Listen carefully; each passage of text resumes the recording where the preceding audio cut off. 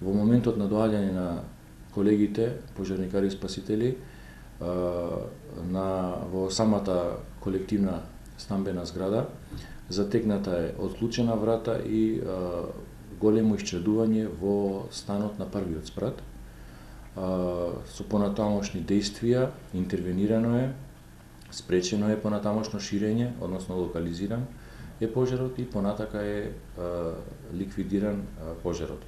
По вертикала во самата зграда пристапено е кон отварање на прозорците со, со цел отчадување, односно оддимување на целиот простор, заради тоа што во зградата имаше доста чад, беа видно возбудени значи и самите станари на зградата.